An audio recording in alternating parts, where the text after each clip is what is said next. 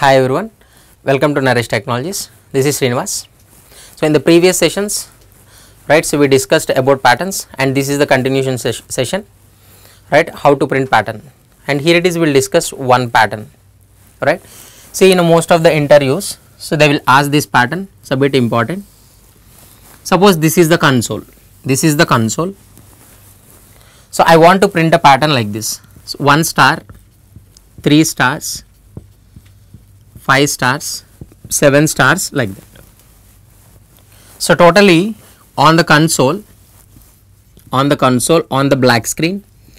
So horizontally, generally, so we can print 80 characters maximum, 80 and vertically 25 lines of code that is not that much important because we can scroll down but here it is a so maximum width is used to print uh, only 80 characters so here now we need to print at the 40th character. So nothing but c by 2 consider.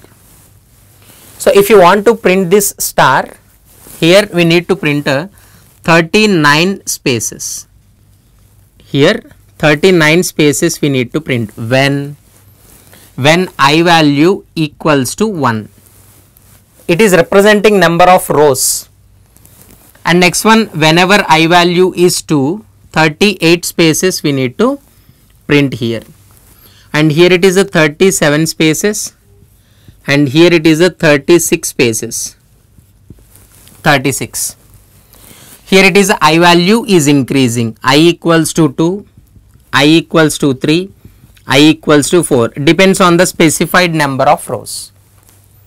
Depends on specified number of rows. Here so first one star we need to print next three stars next five stars next seven stars next nine stars like that.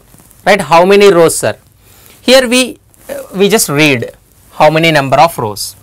For example in the main function so we are declaring one variable n. N and here it is we are reading. So directly i am writing just read n value. Here you have to write a printf and scanf.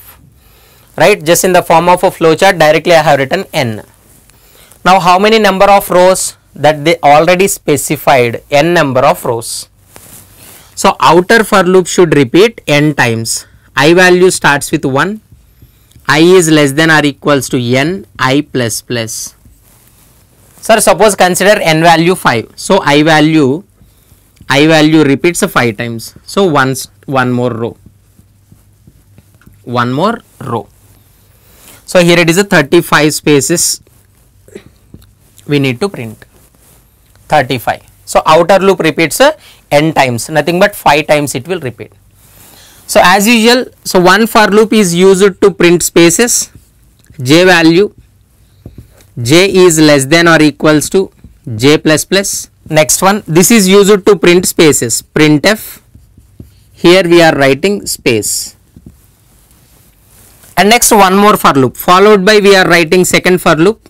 K k is less than or equals to k plus plus. And this is used to print stars. This is used to print stars.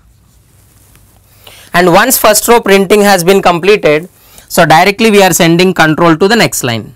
Printf with the help of a slash n we are sending the control. This is the program. Now we need to fill. What is the initial value here? What is the condition? Here what is the initial value? What is the condition spaces condition is very easy. How sir? See here c value is a 80 c value is a 80 so first here it is a 39 spaces we need to print. 39 spaces means observe here c by 2 value is a 40 c by 2 value is a 40 see here it is i value is increasing gradually. 1 2 3 4 5 and the number of spaces we need to print value is decreasing gradually. 39 38 37 36 35 right? See here it is a c by 2 minus i. If you use this formula to print spaces. Here it is a first 40 minus i. Whenever i equals to 1 i equals to 1 number of spaces is a 39 spaces. Because 40 minus 1 whenever i value is a 2 here it is a 38 spaces So like that it will go. So spaces logic is very easy. Here it is. J value starts with 1. J is less than or equals to C by 2 minus I. What is the logic? C by 2 minus I. So nothing but 39. Sir, we need to declare all these variables. I, J, K, C value initially 80 because how many number of I mean how many number of characters we can print in a single row of the console. So total 80 characters we can print. So based on that, so directly we are taking it as a constant variable. Sir directly I will use a 40 no problem but I am following some of the rules okay. So here so spaces printing logic is over. Next stars printing logic stars. Sir how to print stars?